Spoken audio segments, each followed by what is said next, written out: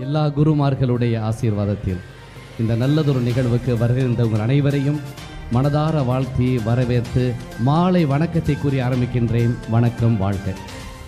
மனிதனுடைய மனசுல இருக்கிற அந்த டிவைன் என்று சொல்லக்கூடிய அந்த தெய்வீகம் எப்ப வெளியே வரும் என்றால் பிறரை வாழ்த்தும் போதுதான். இன்னைக்கு எல்லா குடும்பங்கள்லையுமே இந்த வாழ்த்துறது குறைஞ்சு போச்சு. யாரு எப்படி போனா எனக்கு என்ன? அப்படிங்கிற ஒரு மனநிலை. எப்ப ஒரு ஃபேமிலியில் அந்த அப்ரிசியேஷன் அப்படின்னு ஒன்று இல்லாம போகுதோ அங்கே அவர்களுக்கு வந்து ஒரு சந்தோஷமே இருக்காது ஒரு ஸ்பிரிச்சுவல் கனெக்ஷன் இருக்கவே இருக்காது. நான் எல்லா மேடைகள்லையுமே நான் சொல்றது உண்டு. கணவன் மனைவி என்பது கட்டிலுக்கு மட்டும்தான். நீங்க இருபத்தி நாலு மணி நேரம் யாரா இருந்தாலும் ஹஸ்பண்ட் அண்ட் ஒய்ஃபா இருக்க பாருங்க. எப்பயுமே டென்ஷன் ஸ்ட்ரெஸ் பிரச்சனை வரத்தான் செய்யும். ஆக அந்த கட்டிலுக்கு மட்டும் கணவன் மனைவியாக இருந்து கொண்டு பாக்கி நேரத்தில் ஒருத்தருக்கு ஒருத்தர் நல்ல மோட்டிவேட்டராக ஒருத்தருக்கு ஒருத்தர் நல்ல ஃப்ரெண்டாக ஒருத்தருக்கு ஒருத்தர் நல்ல வழிகாட்டியாக ஒருத்தருக்கு ஒருத்தர் நல்ல குருவாக நீங்க பல கதாபாத்திரத்தை நீங்க நடிச்சு பாருங்களேன். நிறைய வீட்டில் ஹஸ்பண்ட் ஒய்ஃப் வந்து நல்ல ஃப்ரெண்டாக இருக்கிறதே இல்லை. நல்ல நண்பர்களாக இல்லை. நீங்க எப்ப நல்ல ஃப்ரெண்டா இல்லையோ நீங்க ஹஸ்பண்ட் ஒய்ஃபா இருப்பீங்க. ஆனா பேச மாட்டீங்க. நீங்க நல்ல ஃப்ரெண்டா இருக்கும் ஆக இந்த நல்ல ஃப்ரெண்டாக இருக்கும்போது மனமுட்டு பேச முடியும். எவ்வளவு பெரிய பிரச்சனையாக இருந்தாலும் பரவாயில்லை. பிரச்சனை இருந்தால் தான் அதுக்கு பேரு ஃபேமிலி ஆனா அந்த பிரச்சனையை மேனேஜ் பண்ணணும். அந்த பிரச்சனையை சமாளிக்க நமக்கு ஒரு திறமையை கடவுள் தந்திருக்கின்றார். ஆக இங்க வந்திருக்கக்கூடிய நமக்கெல்லாம் ஒரு ஆப்பர்ச்சுனிட்டி ஒரு வாய்ப்பு. எல்லாரையும் பார்த்து நல்லா இருப்பீங்க. இந்த இந்த பொண்ணு மாப்பிள்ளை நல்லா இருக்கணும். நீடூழி வாழணும் என்று சொல்லும்போது அதுக்கு பேர் தான் அன்கண்டிஷனல் லவ்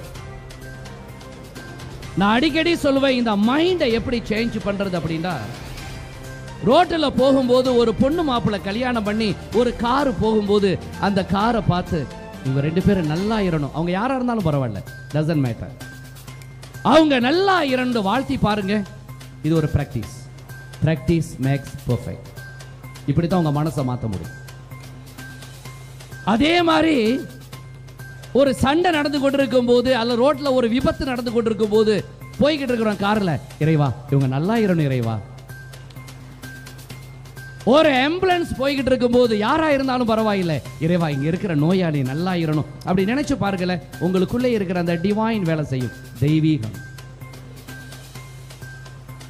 ஏன்னா நம்ம எல்லாருமே பிறக்கும் போது வி ஹண்ட்ரட் பர்சன்ட் டிவைன் நூறு சதவீதம் இறைத்தன்மையோடு பிறந்தோம்.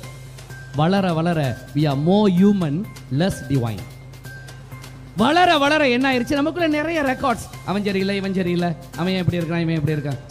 அதுலயே நம்முடைய வாழ்க்கை அதிகமா போயிடுச்சு நம்ம வாழ்த்தும் போது அந்த பொண்ணு மாப்பிள்ளைய பார்த்து மனதார வாழ்த்தும் போது நான் வாழாத வாழ்க்கையை நீங்க வாழ வேண்டும்.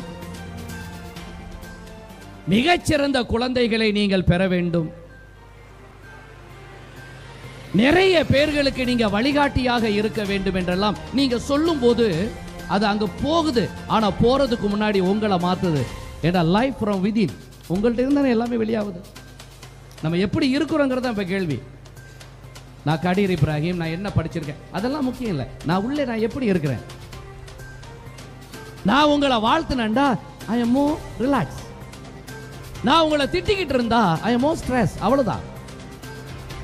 டிப்ரெஷன் ஆக நமக்கெல்லாம் இறைவன் தந்த ஒரு மிகப்பெரிய சக்தி என்னென்றா வாழ்த்துறது. நல்லா வாழ்த்துங்க. எல்லாரையும் வாழ்த்துங்க. நல்லா இருக்கணும் நல்லா இருக்கணும் நல்லா இருக்கணும். நீங்க நல்லா இருப்பீங்க. இதான் லா ஆஃப் அட்ராக்ஷன் வேற என்ன? என்ன கொடுக்குறோமோ அதானே. வாழ்க்கையில நம்பிக்கை என்றால் என்ன அப்படிங்கிறது மூணே மூணு விஷயத்தை சொல்லிவிட்டு நான் நிறைவுக்கு வந்து விடுகிறேன். வாழ்க்கையில நீங்க சோர்ந்து போகும் போதெல்லாம் ரொம்ப நொந்து போகும்போது சோர்ந்து போகும் போதெல்லாம் நீங்க முதல்ல ஒன்ன நம்பணும். நான் செஞ்ச தர்மம் என் பிரார்த்தனை என்னை கைவிடாது. அவ்வளவுதான். இதான் பிலீஃப் சிஸ்டம் ரெண்டாவதாக எல்லாருமே நம்மளை விட்டுட்டு போன பிறகு அப்படி ஒரு சூழ்நிலை வரும்போது சத்தியமாக அந்த ரைட் பர்சன் அந்த ரைட் டைம் சரியான நபர்கள் சரியான நேரத்தில் என்னை காப்பாற்றுவார்கள். அப்படி நம்பி பாருங்க. ரியாலிட்டி நிஜம். நம்பிக்கை வந்துடும் வாழ்க்கையில். நம்ம வாழ்க்கையை நம்புறதே கிடையாது. நிறைய குடும்பத்துல நம்பிக்கையே இல்லை.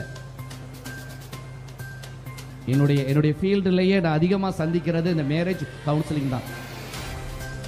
ஸ்ட்ரெஸ் டென்ஷன் இதுக்கு என்ன காரணம்? கம்யூனிகேஷன் ப்ராப்ளம் பேசுறதே கிடையாது நம்ம. நீங்க என்னைக்கு வீட்டில் மனம் விட்டு பேசலையோ யூ ஆர் மென்டலி செப்பரேட்டட் நீங்க மனசுல பிரிஞ்சுட்டீங்க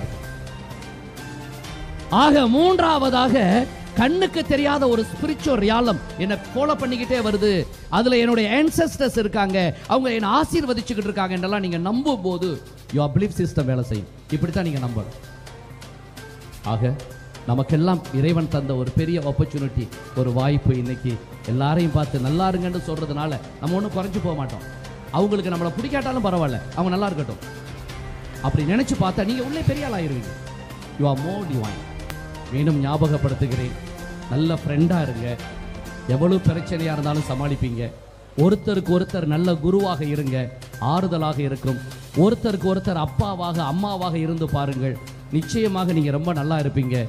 என்று கூறிக்கொண்டு மனதார வாழ்த்தி உங்களிடமிருந்து விடைபெறுகின்றேன். நன்றி வணக்கம்.